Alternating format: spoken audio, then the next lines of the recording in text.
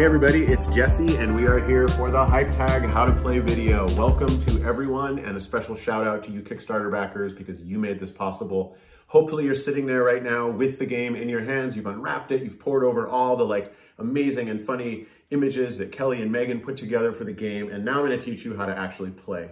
And uh, the first thing we're gonna do is just talk about what is the goal of the game. The goal of the game is you're the people who are playing are a bunch of snarky hipster kids battling it out in a cutthroat game of tag at recess. We, we've all been there, the good, the bad, and the worst. Like we know what that feels like. So everybody is gonna start with a hype meter and that hype meter is gonna measure like your hype on the playground.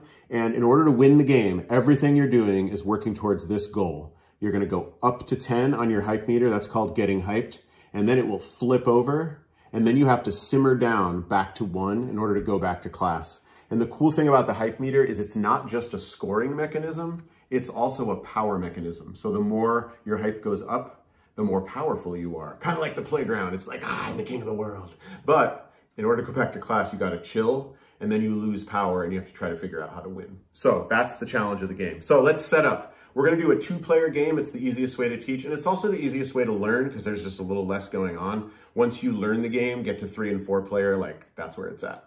But I love two player as well, so we're gonna start there. So everybody starts with a hype meter um, and you put it to the side of your play area. This is, uh, everybody gets a, a, kid on the playground that they're playing. This is Oliver. Um, I'm gonna play Zoe. Um, so I'm just gonna put that here. This is a game with two decks of cards that interact with each other, and we're gonna talk about that in a minute. There's the tag deck, which is basically these cards right here, and they all say tag in the corner. This is sort of the Uno side of the game. And you're gonna shuffle these cards, I already did that, and you're gonna put them here. And then you have the hype deck, which is more the trading card game aspect of the game. This is kind of the marriage of like Magic and Uno, basically. And these cards are a little more complicated, a little more combos, st strategy. You're gonna shuffle those and they're gonna go here. And you'll notice these cards all have the same card back. That's so that your opponent doesn't know what's in your hand, silly. So you're gonna have these cards mixed in your hand. At the beginning of the game, you're gonna get dealt five tag cards and two hype cards. I already did that, so here's my hand. Here's my opponent's hand. I'm gonna play, I'm Jesse. I'm gonna play against Jay How. He's like a tough player, so we'll get to him in a minute. So we all have our hands. There's also a pile of older kid cards, and we don't need those yet. So you're just gonna shuffle them, and you're kind of just gonna set them aside. I'm just gonna put them in the box for now, because we don't need them. There's also this really fun bonus pack that's wrapped up. I've opened it, but this is a gift for you once you know how to play the game. This is some like extreme strategy, cool stuff that you can do, cards that are a little more complex, and you get to open this later and add them into the hype deck. And I want to tell you Kickstarter backers that your Kickstarter promo, Crowdfunder Fran, is in this package. So in a minute, you'll open that. Or maybe not in a minute, but soon. Okay, and of course, everybody has a little rules card. One side just tells you what to do on your turn, and we'll get to the other side in a minute. Hey, Kate. Hey, Jay How. Hey, Jesse forgot to tell him that since it's a learning game, we're going to start on quick mode, which is at number four on the hype meter, instead of pro mode. We'll get to varsity later. So put your slider on four. And second of all, all of the four main kids on the hype meters have like a personality trait. Like this guy, he's kind of self-centered. Um, so you're gonna put your trait slider on thumbs up to show that it's available. We'll get back to that in a bit, but I didn't want you to leave that out. Back to Jesse. Thank God that guy's here. Jeez. Now, I'm gonna basically talk you through your turn so that you know what the three phases of your turn are. And as I do that, I'm gonna introduce you to some of the unique elements of the game. I find if I know what the things are that are different than other games that I've played, it makes the game sticky or it makes me remember it and it makes it makes me want to play again, right? Okay, so come on over here and I'm gonna show you your play area. So this is your play area. You have your hype meter. We're starting on four, as Jay Howe pointed out. And uh, we basically have the two decks in the middle and they're on these mats so that you know which deck is which. And there's going to be a face-up discard pile next to each of these decks. In your play area, the top area is going to be where you play tag cards. That's called your field. And you can find this in the rule book. Or your second area is called your sideline, and that's where hype cards go. So now let's talk about your turn. Okay, the first phase of your turn, if you look at your rules card, is called regroup. And there is no automatic draw in this game because that would be too easy. You don't get to draw a card every turn. Come on, guys. So instead, if you want to draw, you have to discard. So regroup in tag is kind of like I just got tagged and I'm like, I don't know what to do. So it's kind of a chance to think about your turn. We'll talk more about the strategy of that later. The second part of your turn is called the hype step. And you can play one hype card on your hype step. there are three types of hype cards. You know it's a hype card because it says hype, hype, hype in the corner. So I'm going to just grab one of each of these and I'm going to show you what they do. A mischief card is one and done. You play it into your sideline on your hype step. You do what the card says and then you discard it. The second type of card is a character card. And there are helpful ones and harmful ones. Helpful ones you're going to play on yourself. Harmful ones, they're going to go over there to do bad things to uh, J-Hat. So this is Enrique, for example, and when I play him, I play him into my sideline, but characters stay there instead of getting discarded. And he has an ongoing effect that helps me so long as he's there. And there are effects in the game that will get rid of him, and some that even allow Jayhow to steal him away. That's called repositioning. Um, so that's what he does. I'm just going to leave him there just so you know where he belongs. And then there's what's called SAS cards. And SAS cards are part of what make this game fun. They are response cards they don't count as the one card you can play on your hype step. They can be played anytime on anybody's turn, as long as the thing that they're responding to happens. So for example, monkey see, monkey do, we've all heard that one. This lets me copy a move that was just made on an opponent's hype meter. So if Jayhow moves on his hype meter, even if it's his turn, I could be like, monkey see, monkey do, I throw this card down and I get to copy his move, which basically just lets me do the same move. So those are the three types of cards in the hype deck. So on your hype step, you can play one. Both regrouping and hype step, optional. So there are turns where you just skip them and go right to tagging. Okay, Kate, come here. Like you and I both know these hype cards are like the best part of the whole game. I mean, this is where like you clever kids will really get to shine. So what do these hype cards even do? Let me show you a couple cool things about them. First of all, this is so awesome. All these cards have a number in the corner and that number is called a hype number. And you have to be at that number or higher on your hype meter to play the card. So as you go up on your hype meter, you get more powerful. But the trick is when you flip over, right? You're all high and mighty up here. You start to simmer down. Now you're down here. You can't play those powerful cards anymore. And you got to be a little more sneaky, right?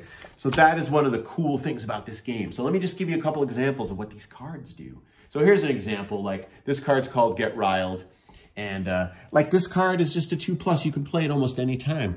And you can either move up two if it's early in the game and you're going up, or you can make an opponent move up one if it's later in the game, right? How about saw that coming?